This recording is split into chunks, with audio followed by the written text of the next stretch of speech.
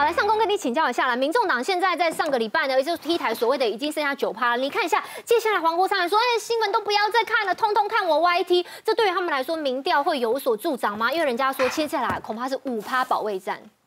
没有啊，你看他 YT 就看黄国昌，就看他流量啊。那有线电视全部关掉、剪掉，那看他的 YT，他会不会请黄珊珊去一起直播嘞？可以挑来宾啊。哦，对啊，我就说，那他挑来挑去，挑谁嘞？黄珊珊又不挑，人家黄珊珊在辩护金华金华城法律见解的时候，你要不要找他去？飒爽。对嘛，我就说。哎，那就是这个事情听听就好，也我相信也不会有人傻到去停那个有线电视啦。我相信也不会有人傻到去了。啊，现在就是喊跟小草喊话嘛，叫他听他的，创造他的流量。你之前你不要忘记哦，他说过哦，他重要的下一步是要整队，越整越大。哦，所以叫全部都听他的。嗯。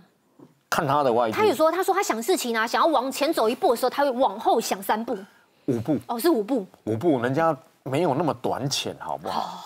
人家是想到五步，好，结果走了一步半，走不到第五步。嘿啊，常干这种事，而且他绝对没想到时代力量现在有五趴，而且时代力量反而跳起来了。呃，对啊，所以我觉得他现在，你说他在做什么？你真的他是为了党，还是为了自己的声量？我偏向于他是在为自己啦，因为他自强声量好像也不是很好嘛，所以总要总要用假党之名救自己声量，顺便赚斗内。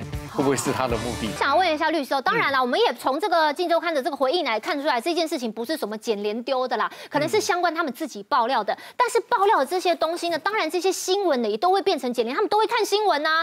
他们看这些的时候，都会发现说，哎，内部爆料都指出说，柯文哲对于这些钱是有绝对支配权的。这个媒体啊，柯文哲说要就是要，别人说不要，他还是要。所以代表说这些钱呢，完全在他掌控里。对于检调来说，这是什么讯息？这就是一个非常重要的讯息嘛，就是说其实。大家这几呃这几个礼拜一直在拼凑的，或者说大家一直在探讨，就是金流的问题嘛。那老实讲，你成立一个政党要什么？第一个要钱，第二个要人，人看起来是有嘛？那有没有钱？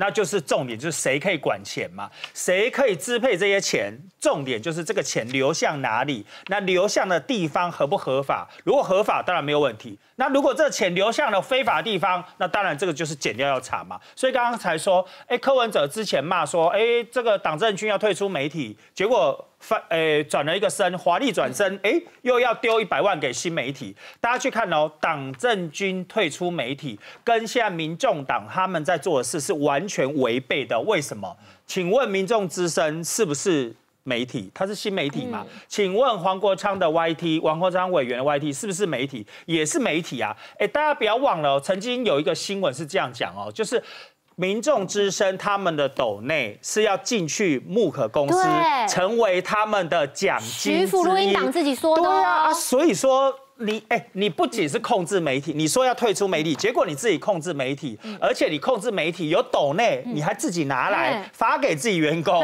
你这不仅是控制媒体，你渗透媒体，你完全把媒体作为你个人的一个牟利的工具嘛，所以我才会说你这个党政军退出媒体，前面讲党政军退出媒体，但华丽转身，你又透过媒体去赚钱，那这个看在老百姓眼里就会觉得很奇怪。你之前在说这个国民党怎么样，哎。控制什么这个媒体呀？说三中啊，什么中对退出媒体，中广、中影、中视，你前面这样骂，结果后面你透过媒体赚钱。